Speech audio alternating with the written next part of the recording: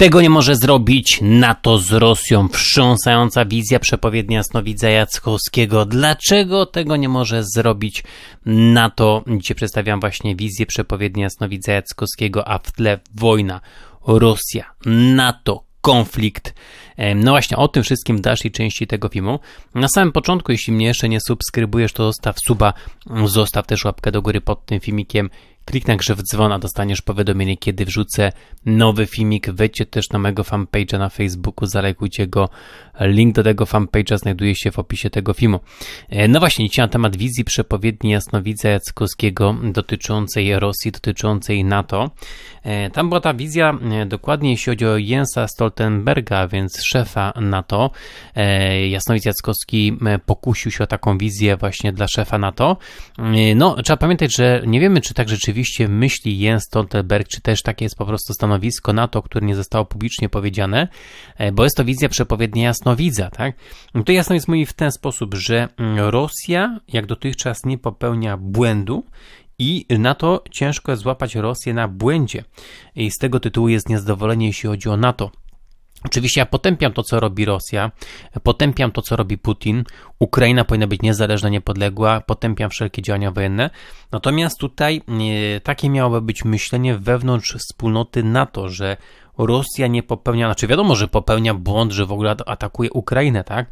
Ale jakby w tych działaniach, e, jakby militarnych, nie, tak, no, no znaczy, pomijam kwestię jakby każdego dnia, no bo wiadomo, Rosja też po prostu traci sprzęt wojskowy i mnóstwo żołnierzy i ochotników i tak dalej, ale jakby e, w sensie po prostu międzynarodowym, że Rosja tak naprawdę nie popełnia tutaj błędu i na to jest ciężko tak naprawdę złapać Rosję na błędzie. No też trzeba pamiętać, że NATO to jest sojusz obronny. Więc to nie jest tak, że nie wiem, NATO, na przykład Rosja naruszy po prostu przestrzeń powietrzną Polski, to wtedy NATO wyśle po prostu wojsko i e, rozpocznie się regularna wojna. Na pewno NATO nie chce tej po prostu regularnej wojny, no ale są też inne sytuacje, rzeczy po prostu, które mogłoby tutaj NATO właśnie złapać Rosję, tak? Jeśli chodzi o na przykład e, też takie niezadowolenie społeczne, międzynarodowe, e, tak, no bo dzisiaj jest ta wojna, ten konflikt, no ale mimo wszystko jest to konflikt jakby na danym regionie. Tak?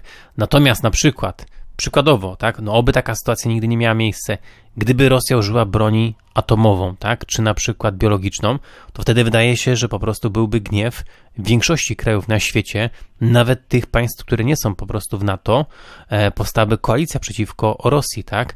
E, powstała to tak samo jak podczas II wojny światowej powstała po prostu koalicja, e, już pod koniec tej wojny, tak, czy tam w połowie, ale powstała koalicja przeciwko e, właśnie Hitlerowi, tak? Wszystkie siły po to, żeby tak naprawdę obalić Hitlera. No i w tamtych czasach, tak, no to, to wiadomo, po prostu yy, tutaj tak, yy, tutaj Stalin dostał wolną rękę, nawet wsparcie ze strony Amerykanów i też jeśli chodzi o sprzęt wojskowy, żeby tylko po prostu pokonać Hitlera. Natomiast no dzisiaj są czasy zupełnie inne, yy, chociaż też jest taki dyktator, tym dyktatorem jest po prostu Putin.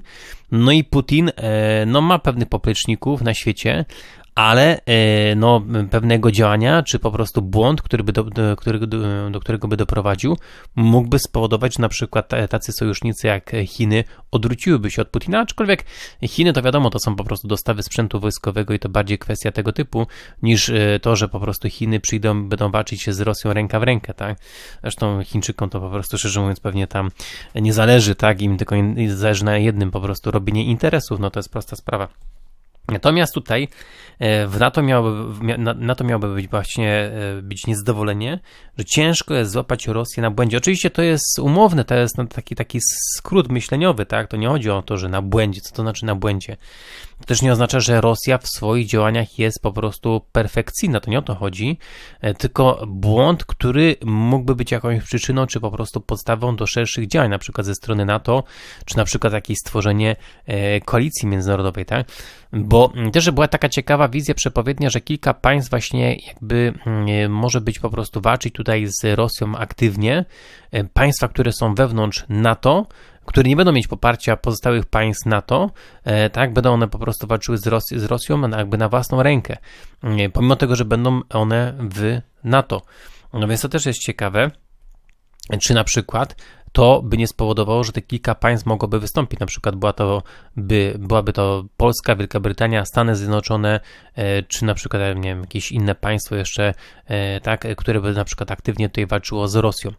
No ale wtedy NATO by powiedziało, że oni się na to nie zgadzają, żeby na przykład to był konflikt NATO kontra Rosja i te państwa chcą walczyć z Rosją, to walczą na swoją odpowiedzialność, e, ale na to im wtedy nie przyjdzie z pomocą.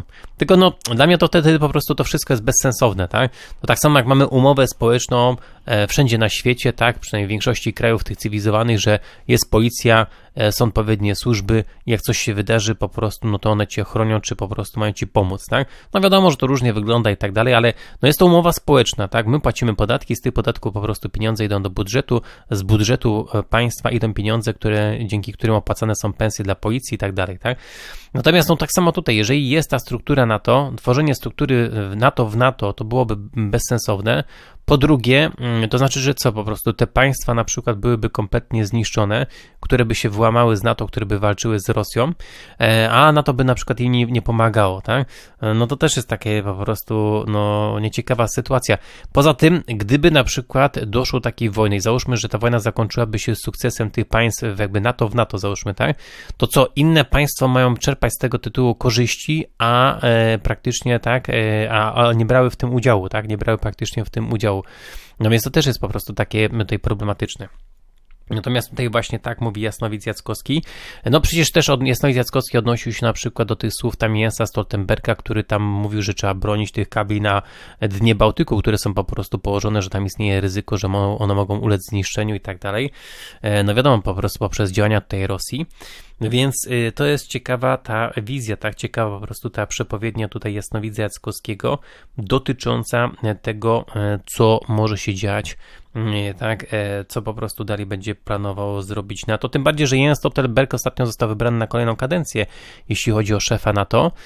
Znaczy, ja powiem w ten sposób, no, e, wiele osób na przykład myśli, że NATO to jest takie słabe, bo nie, nie odpowiada, no, a NATO jest, to jest ogromna siła, po prostu ogromny sojusz. Jeżeli rzeczywiście wszystkie te wojska będą zaangażowane, a nie, że ktoś się włamie, Natomiast to nie oznacza, że NATO po prostu ma od razu wojować, no bo to byłby konflikt globalny, konflikt światowy, tak?